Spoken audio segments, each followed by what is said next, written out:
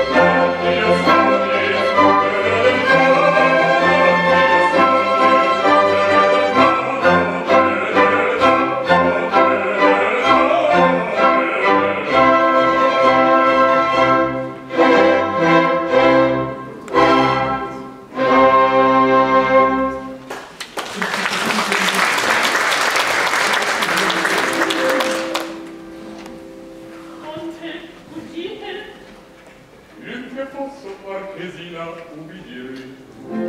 Io fotogrammo se leppo e poschiloppo e mio. Office molto semplice, non altro che una voce ripercosa per letto. Annino o no? No, certo. E col papazzi erano. Lo vedeste? Non la giri, ma la sentagli.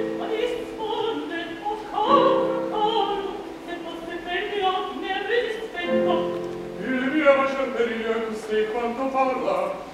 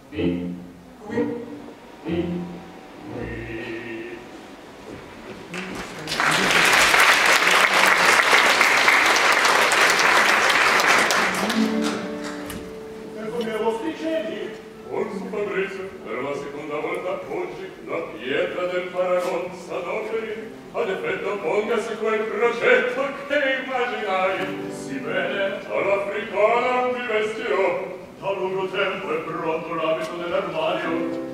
ecco col divieto da rimettersi a verde dal principio alla borletta, ho inteso, state poi sotto al secondarla spaltro, chi ha su quel dio da par, non ancora altro.